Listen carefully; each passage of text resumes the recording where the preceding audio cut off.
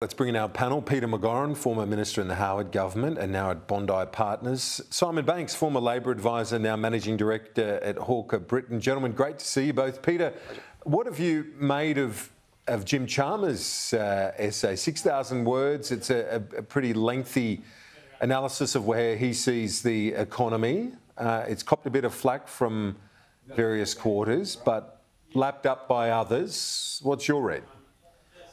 It's just staggering hubris. He's been there five minutes and suddenly he thinks he can reshape capitalism and the markets. In other words, it's same old formula: uh, big, big government, market intervention, red tape, regulation, uh, and and secondly, the best advice anyone could give Mr. Chalmers is go back to basics.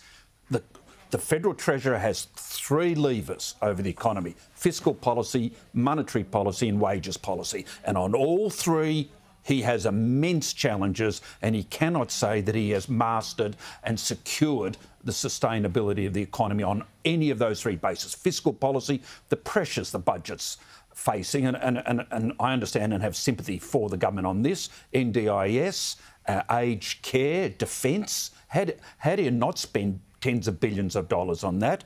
On monetary policy, well, we know interest rates keep going up in response to inflation. It's, an, it's a dog chasing its tail, in effect. And wages policy, enormous pressures to raise the minimum minimum wage uh, rate to count uh, and take into uh, account uh, inflation. And we now have the CFMEU promising uh, or threatening uh, a wages campaign. I'm sorry, this is just vainglorious behaviour.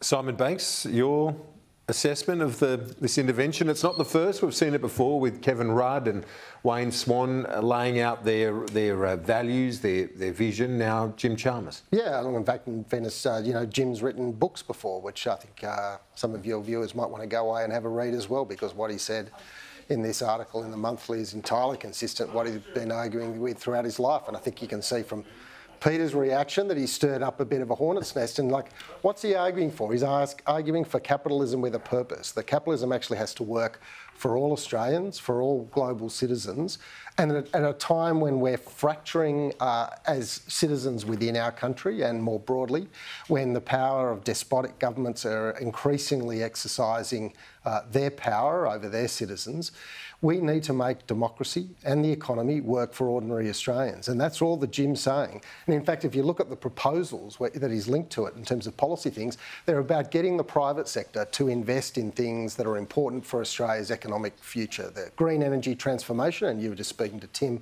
uh, about that, Kieran, but also in housing, where we know we've got a massive shortfall in housing stock at the moment, particularly for people on low and middle incomes.